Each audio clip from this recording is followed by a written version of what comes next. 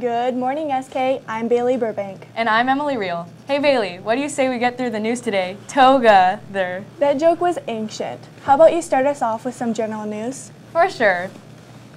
All students and staff, if you didn't already know, this week is Spirit Week, and this Friday is the Winter Pep Assembly that will be at the end of the school day.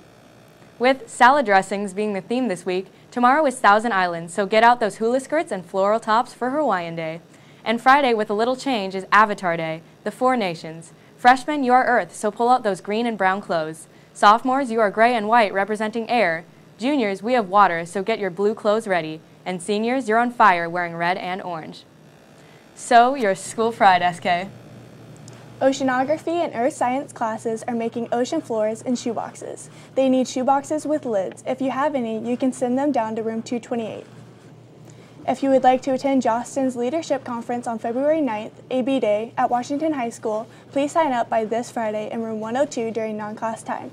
The cost per student is $20 and you get a lunch and a t-shirt. Tolo is coming up on February 10th. Buy your tickets early and save. Starting January 22nd through the 26th, tickets will be $10 with ASB and $15 without. January 29th through February 2nd, tickets are $13 with ASB and $18 without. And the week of Tolo, February 5th through the 9th, tickets are $15 with ASB and $20 without. Don't wait last minute to get your tickets. Sophomores and juniors, are you thinking about beginning running start next year? There will be an information meeting for you and your parents next Thursday, January 18th at 210 in the main theater. The director from Olympic College's program will be presenting. This is an excellent opportunity to find out if Running Start may be for you. Sophomores and juniors, applications for the MultiCare Nurse Camp is now open online and closes March 2nd. This is highly competitive. Only the first 225 complete applications will be considered, so early submittal is highly recommended. 100 students will be accepted. See the Career Center for more info. HOBY, HOBY applications are due to the Career Center this Friday. Interviews will, will occur next Wednesday beginning at 2.30 p.m. in room 102. Switching into club news, the clubs meeting today are Key, Ballroom and Swing Dancing, Model United Nations, ASB, YBTJ, Speech and Debate Team, and French Club. And tomorrow, Knowledge Bowl, Spanish, German, Art, FCCLA, Illuminate Bible Club, Lifesavers, DECA, Campus Life, Graphics, journalism, ukulele club, ceramics, and magic and trading card games will meet. It's never too late to go out and join a club. It's also never too late for sports. Sports results have not gotten back to us, but let's get into the schedule of events. Today, the bowling team takes on Emerald Ridge at High Joy Bowl. Tomorrow, ladies bowling has their senior night against Olympia High School at Hi-Joy Bowl at 3. And men's swim and dive makes a splash in the pool against Olympia at Olympia High School at 3.30. With this being said, the swim team has come to a halt with our pool issues. Here's a video for a closer look. With the South Kitsap High School pool now closed, the South Kitsap High School swim team has been practicing at Olympic High School.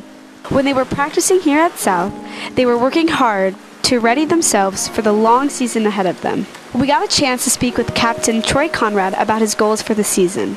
My goals as an individual this season is to make it to state for a relay team. As a team, I think that a good goal would be to have everybody improve and everyone just get better at swimming and enjoy what they're doing. Captain Andre Obenel had some input on why he enjoys swim. What I like about swimming is everyone's working hard, everyone's improving, watching everyone grow and becoming a better swimmer.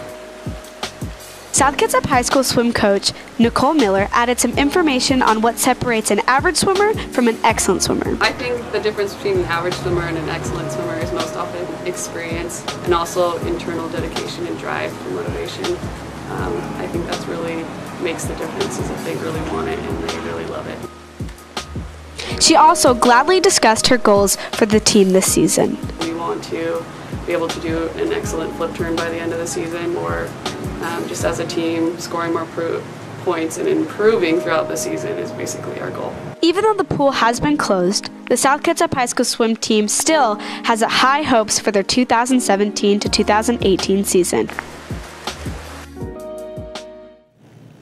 Good luck to our swim team for the rest of the season. Moving on to career news, Point Defiance Zoo and Aquarium is looking for responsible, dedicated, enthusiastic teen volunteers for this summer's zoo guides. The application is available online, so check in the Career Center for more information. Juniors and seniors, here's your opportunity to take the AccuPlacer right here at SK. Pay a $10 fee at the ASB window to get registered. Space is limited. The test is next Wednesday at 2.15 in the library. You must apply for admission at OC before you take the test. See the Friendly Career Center staff with any questions. Seniors, the Douglas County Fire Department is recruiting for their resident firefighter program. Applications are currently open and successful candidates will start in August after graduation. See the Career Center for more information on this amazing opportunity. Seniors, you are encouraged to apply for the Washington State Opportunity Scholarship. The application is now open through February 28th. You must also send an official transcript and file, file your FAFSA by March 7th. See your Career Center or your counselor if you need more information. Speaking of scholarships, the Kiwanis of Port Orchard Scholarship is now open. They award eight scholarships of up to $3,500 each. The application is on the washboard.org only and is due April 9th. Well, that looks like all we have for you. Have a howling Wednesday, Sal.